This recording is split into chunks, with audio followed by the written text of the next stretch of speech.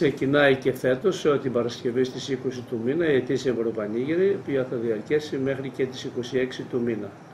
Θα έλεγα είναι ένα μεγάλο γεγονός για τον τόπο και αυτό φαίνεται από τα χρήματα που διακινούνται αφού ο Δήμος εισπράττει περίπου 200.000 ευρώ ως έσοδα και υπάρχει και το κόστος κατασκευής των παραγκών, του ηλεκτροφωτισμού.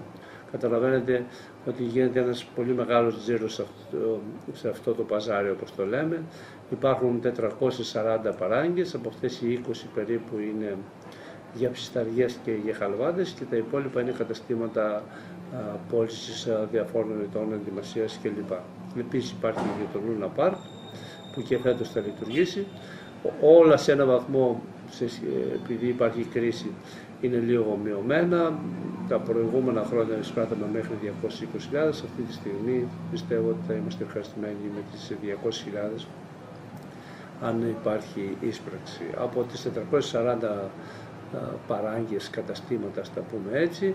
Τα 75 τα παίρνουν καρτισότες επαγγελματίες και τα υπόλοιπα διατίθενται σε επαγγελματίες εκτός του νόμου μας. Από την πλευρά μας έχουμε κάνει όλες τις ενέργειες, ούτως ώστε ε, να λειτουργήσει απρόσκοπτα η Ευρωπανίγερη, να βρεθούν οι χώροι στάθμευσης, να υπάρχει αστυνόμευση κατά, καθ' όλη τη εβδομάδα. Έχει επιστρατευτεί και η Δημοτική Αστυνομία, έχουμε ζητήσει τη συμπαράσταση και της ελληνικής αστυνομίας και θα διατίθενται και υπάλληλοι από τον Δήμο πρωί και απόγευμα, ούτως ώστε να υπάρχει ένας συνολικός έλεγχος και να ολοκληρωθεί αυτή η διαδικασία χωρίς ε, κανένα αρνητικό πρόβλημα.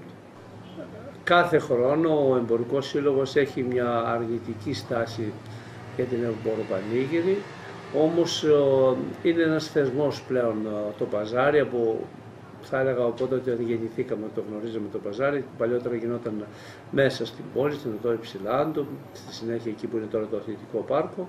Τώρα έχει απομακρυνθεί και αυτό θα έλεγα είναι προς όφελος κατά κάποιον τρόπο των εμπόρων, εφόσον αυτό δεν είναι ακριβώς μέσα στο κέντρο της πόλης.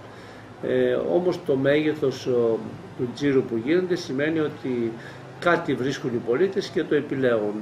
Και αυτοί η διαδικασία εντάσσεται στα πλαίσια του υγιούς ανταγωνισμού και ο καθένας από εμάς, είτε οι ίδιοι οι έμποροι που έχουν έδρα μέσα στην πόλη, μπορούν να συμμετέχουν ε, στην εμποροπανήγυρη, είτε να έχουν ανταγωνιστικά προϊόντα για να μπορούν ε, να προσφέρουν τις ίδιες υπηρεσίες στον πολίτη, στο δημότη, ο οποίος τελικώς ε, είναι ο, ο, ο τελικός κριτής και επιλέγει αυτός με ποιους τρόπους θα ξοδέψει τα χρήματά του.